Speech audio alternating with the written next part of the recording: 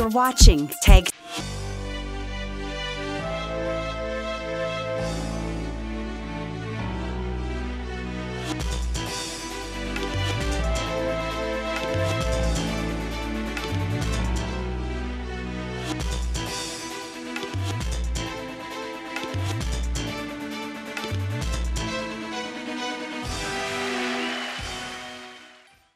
India is well known around the world owing to its historical background, diverse cultures, and interesting traditions.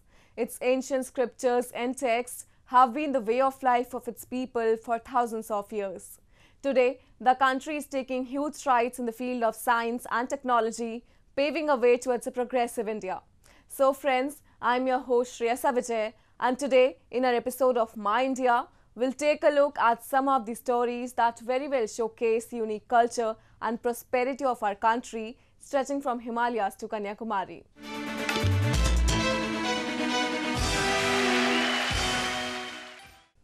Many NGOs are working towards empowering rural women in India by helping them upgrade their skills and promoting their products, especially embroidery and handicrafts.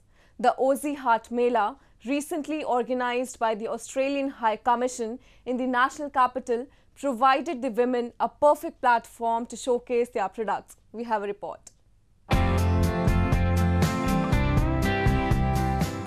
Handmade embroidery, handicrafts, and handloom products from India are popular across the world.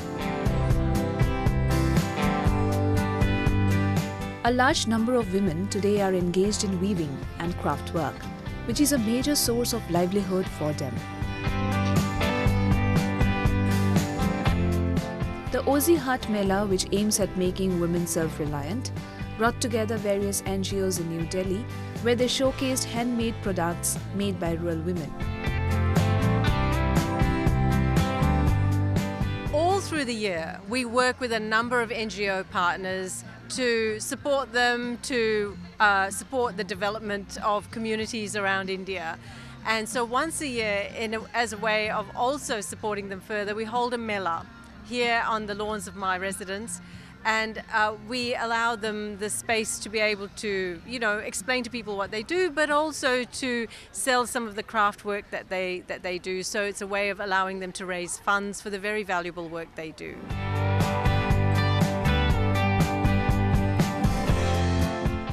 Celebrated under the theme Women's Empowerment, the Mela aims to support NGOs who work with marginalized or underprivileged communities at grassroots to improve the livelihood opportunities for women.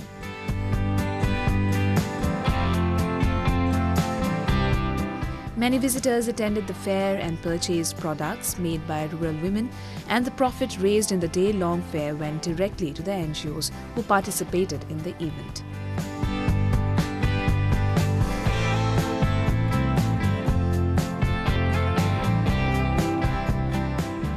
We are coming here for many years now. This is uh, um, this is an amazing festival.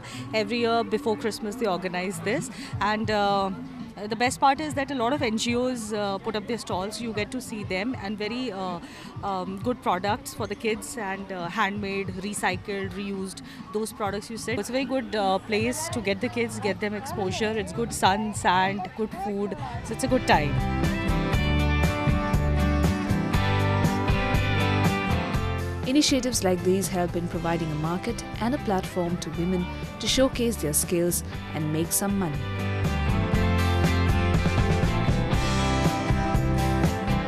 They also help them become better equipped to make life determining decisions for themselves and their families.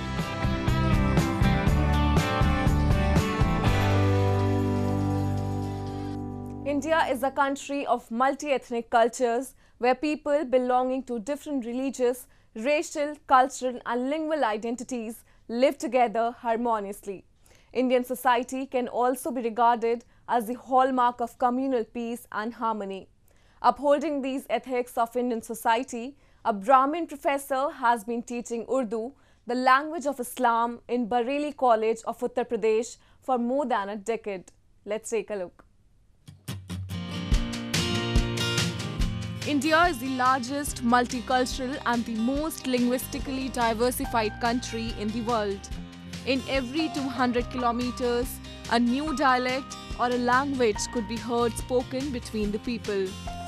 Over the years, these languages have also become the binding force between different religions practiced in the Indian society.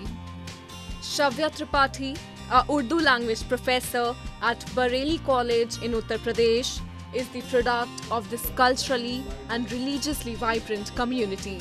Although she belongs to a Brahmin family, Shavya Tripathi chose Urdu language over Sanskrit as her subject of interest during her school days and went on to become a learned professor in the subject. बचपन से ही मैंने उर्दू पढ़ी फिर पढ़ते पढ़ते उर्दू से लगाव हो गया। सरकारी स्कूल में पढ़ाई की, जहाँ विकल्प के तौर पर संस्कृत या उर्दू में से एक का चयन करना होता है। और बस उर्दू के साथ यात्रा मेरी जारी रही कंटिन्यू रही और अच्छा परफॉर्मेंस रहा उसमें, अपने शिक्षकों का, की प्रेरणा मिली और उर्दू को मैंने करियर के तौर पर अपनाया उससे अपनी। Shavya Tripathi was appointed as a professor of Urdu language at the eminent Bareilly College in Uttar Pradesh in 2008 and since then she has been teaching all the nuances and intricacies involved in learning Urdu language to her students. हम एक दूसरे से जब तबादला ख्याल करते हैं तो ऐसा लगता है कि हम जितना जानते हैं उससे कहीं मतलब कह लीजिए कि बेहतर तौर पर वो उसको जानने की कोशिश कर रही हैं और उसको बच्चों तक मतलब पहुँचा रही हैं इसलिए मुझे कहीं भी शबिया त्रिपाठी जी के साथ कि वो ब्राह्मण परिवार से हैं या कोई ऐसी परिवार से हैं तो उर्दू पढ़ाने में या उर्दू को जानने में उनको कहीं इस तरह की कहीं रुकावट महसूस नहीं होती और न कहीं कोई बच्चा या हम लोग खुद इस के तौर पर उनके अंदर कोई कमी पाते The people like Shavya Tripathi are the flag bearers of camaraderie and brotherhood between the living in harmony across the length and breadth of our country. Now, a roundup of some of the major stories that made news recently.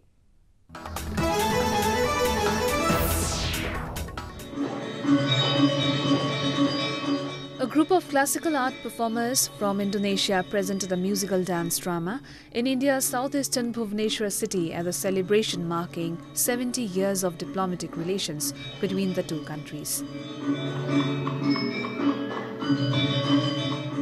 And this is part of uh, uh, the diplomatic uh, relationship uh, celebration between Indonesia and India for 70 years. So uh, this is uh, indicate that uh, the relationship between Indonesia and India uh, getting uh, increased. Balinese, the dance that was performed, is an ancient art form of Bali, and the dancers wore a golden headgear, colorful costumes, and sometimes use a fan as a prop. Oh, we're feeling great. We're feeling so happy, so enthusiastic, and oh yeah, this spectacular uh, evening or event, spectacular event for us. So we are very happy, and we hope that uh, we are invited again, maybe next year. The performance was based on the stories of Hindu religious epic Ramayana that tells the story of Hindu god Prince Rama, his wedding to the princess of Janakpuri Sita, his exile with his brother triggered by his stepmother, and his battle with demon king Ravana who abducted Sita. India and Indonesia share two millennia of cultural and commercial ties, especially with India's eastern coastal cities.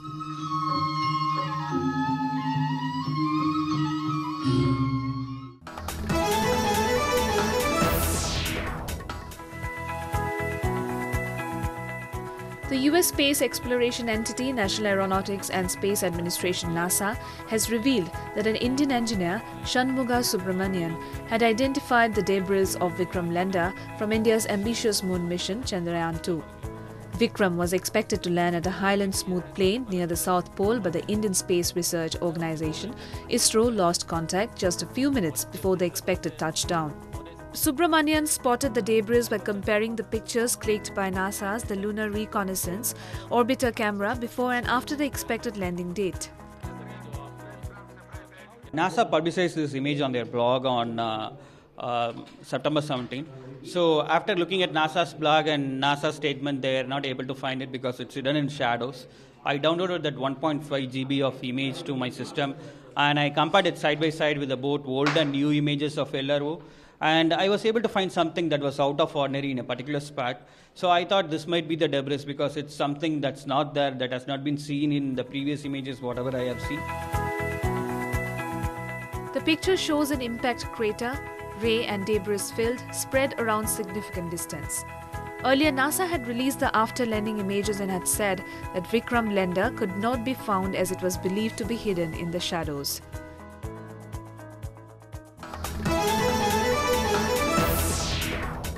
Moving on, with rapid economic development, the lifestyles of people have also graduated. To fulfill the demands of rich lifestyles for the people in Malaysia, Japanese companies have brought System Kitchen for their many customers. On the other hand, another Japanese food company, Ajinomoto, is contributing to safe and tasty meal for school children in Indonesia. We have a report. The number of rich people in Malaysia is increasing with rapid economic development. Huge high-rise condominiums are being constructed in town of Kuala Lumpur. In residential rooms, system kitchen of Japanese style is installed for people who want luxury. Most of condominiums are installed with system kitchen produced by Rinnai, which is a Japanese company known as total manufacturer of kitchen utensils. As a purchaser of Irama Wangsa, you'll be given a V9 burner as well as a exhaust. So this is a LPG system with all the safety built in. So you don't have to worry about your cooking and things like that. So it will be very easy for your for your stay here.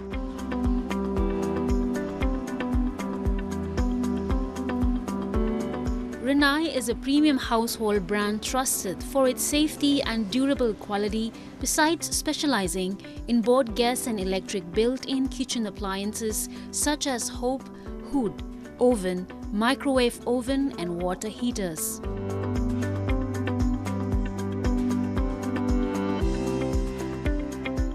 In showroom, Japanese-style system kitchen is displayed. All of them have the latest technology such as stainless steel items, high ecological, silent sink and more. We have a lot of uh, satisfied customers using our product. And being from Japan, our technology has uh, grown over the years. Uh, until today, we have we are able to uh, come up with uh, many innovative products. Notably, uh, steel cooking product, which uses gas, and uh, we have also developed a lot of electric product to complement with uh, what what we are good at. Well, over the years, uh, as I said, we are specializing in uh, gas cooking product. Uh, we have developed over the years from tabletop stove to uh, uh, innovative hobs, uh, such as our uh, established uh, well-known inner flame burner from Japan, and also Lotus burner from Taiwan.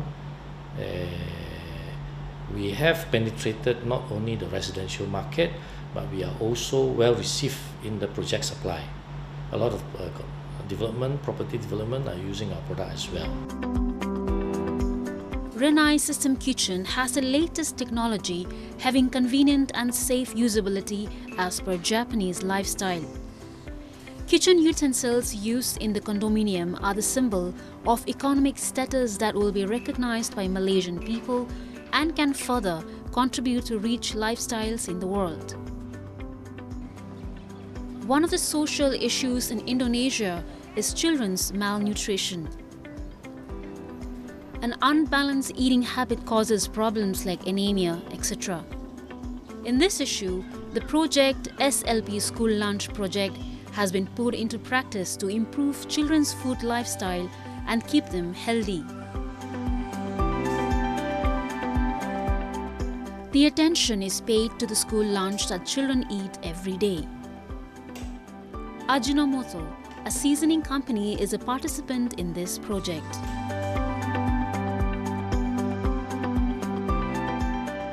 Ajinomoto Indonesia develops and sells seasoning specialized in Indonesian cooking.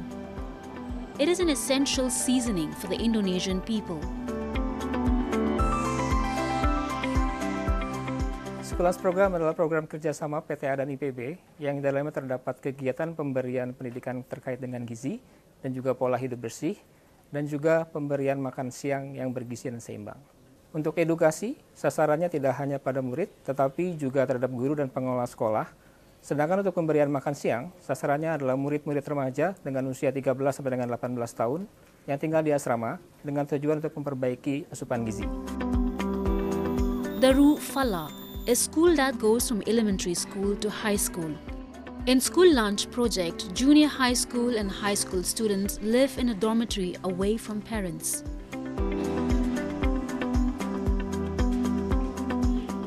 Ajinomoto offers products such as Masako, Sajiku, and Saori and develops menus which are suitable for students.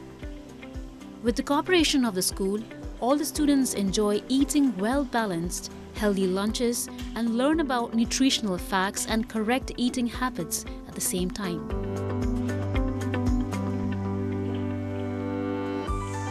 Penggunaan bumbu Ajinomoto sangat membantu karena makanan menjadi lebih lezat, menarik, dan bervariasi. Sehingga santri lebih menyukai makanan yang disediakan dan makan lebih banyak. Selain itu, dengan bumbu Ajinomoto, proses memasak menjadi lebih praktis. During the project, School Lunch provides students with a balanced food nutrition. The seasonings of school lunch use product of Ajinomoto. Students feel the same taste in their food as they find at their homes. Selama saya mengikuti kegiatan SLP, saya banyak belajar mengenai gizi dan kesehatan. Saya jadi lebih tahu tentang manfaat dari berbagai makanan, dampak dari kekurangan, dan kelebihan zat gizi. Bagaimana pola makan yang baik, saya jadi tahu bahwa dulu makanan yang biasanya saya makan tidak bergizi seimbang. The products of Ajinomoto that make the taste of food as children find at their hometown continue to contribute towards the health and happiness of Indonesian families. India has always been a land of great saints, assimilating in its fold various cultures and thoughts from time to time. It is a land where Sufism has not only flourished in its true spirit, but has also become a way of integrating different religious communities. A glimpse of it can be witnessed in different Sufi shrines of our country. So, today we take you to Asar e Sharif in Karnataka that has remained pious site for different religious communities for generations. Take a look. Located in the Hubli district of Karnataka, the Sare Sharif is one among the most revered shrines in the country. Every year on the occasion of Eid ul Nabi, lakhs of visitors throng Asari Sharif to take a glimpse of a holy hair of Prophet Muhammad Pagambar, the founder of Islam. Not just Muslims but devotees from all other religious communities come to visit the spectacular show put up in Old Hubli district.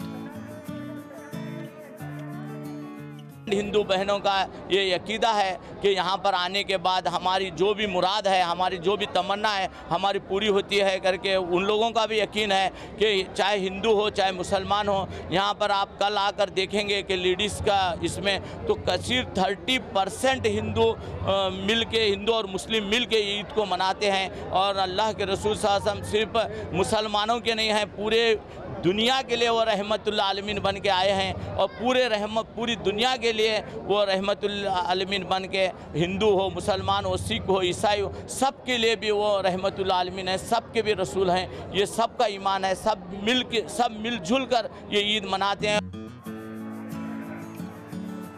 The Sare Sharif was constructed by Muhammad Adil Shah in 1646, where two hair strands of Prophet Muhammad are enshrined in a casket. As a mark of respect to Muslim community and their faith, Maratha warriors who later ruled the city too allowed the Islamic traditions to continue in Hubli district. यहाँ पर हिंदू और मुसलमान दोनों में आते हैं और सबसे पहली बात बड़ी बात यह है कि हर जुमा यानी फ्राइडे के रोज़ हम सलात सलाम पढ़ाया जाता है यहाँ पर। और जुमेरात के रोज़ फातह ख़वानी होती है। हाँ हर तरह के लोग आते हैं। हाँ यहाँ पर ना हिंदू है, ना मुसलमान है, सब कुछ हर धर्म का आदमी यहाँ पर मौजूद होता है। The message of peace and brotherhood come out loud from the holy places like Asar Sharif. Today, in spite of changing political scenarios, these places continue to promote peaceful coexistence among different religious communities present in India. India has been blessed with some of the brightest minds in the world who have made their mark in all walks of life. A 12 year old boy from Manipur who is about to appear for his class 10 board exams may just be another such person from the country. Take a look. Isaac Paula Lungmuan Vaiphei from Chura Churachandpur village in Manipur has been granted special permission by the authorities to sit for class 10 board exams.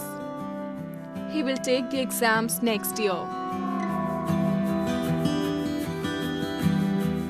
I want to show to to our nation and the world that Manipur is not underdeveloped.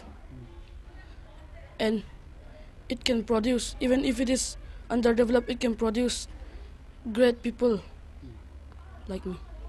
I'm confident enough. What made you think so? because i've been studying hard recently hmm. and that is why i think i will it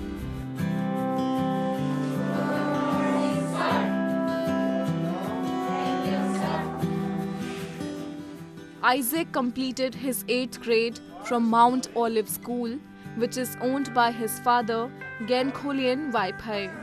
Isaac was 11 years old and was studying in grade 9 when his father sought permission to allow him to appear for the board exams. But as per the rules, the application was rejected. iniwan wa rigas loina bai hat tor adu dagi masa angang macha adu mm, karim ta khang waidra haira khang badu da exam to eh, final ekono half yearly exam to han bama tam da ma ring un tar ka bu da ngai ri ba ngang do. Adu dagi di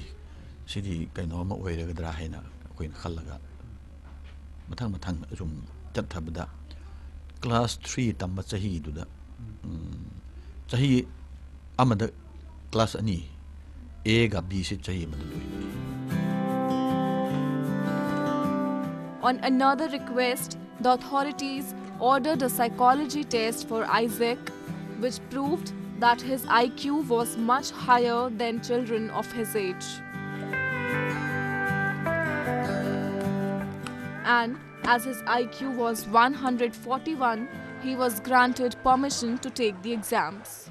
The test was conducted by the Department of Clinical Psychology RIMS Imphal. It proved that Isaac's mental age was 17 years 5 months, his basal age was 14 years, while his terminal age is 22 years. Uh, regarding his performance, it is quite appreciable because since his childhood he has this ability of uh, creativity, so to say. And in terms of examination and all, also has uh, performed excellently. Isaac's family had to cross a lot of hurdles to ensure that he could appear for the Class 10 board exams. They now hope that the authorities will provide the required support so that Isaac can excel in whatever he wants to do. That's all we have for you this week. Your comments and suggestions are important to us. Do give us your feedback at myindia at anin.com. I'm your host Shreya Savajay and it's goodbye from the entire production team.